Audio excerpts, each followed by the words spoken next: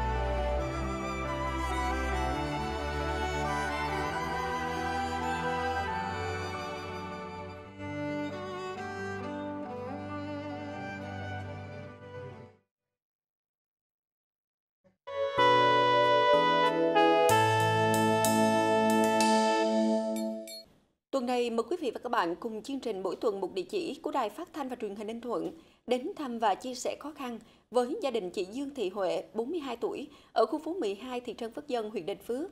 Hai vợ chồng chị Huệ đều bị bệnh hiểm nghèo, không làm được việc gì. Hai đứa con có nguy cơ phải nghỉ học giữa chừng vì gia đình quá khó khăn. Rất cần sự hỗ trợ giúp đỡ của các nhóm thiện nguyện và nhà hảo tâm trong và ngoài tỉnh.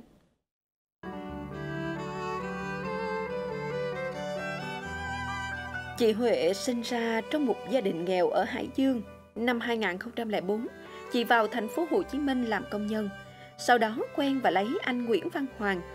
Rồi hai người quyết định về Ninh Thuận sinh sống.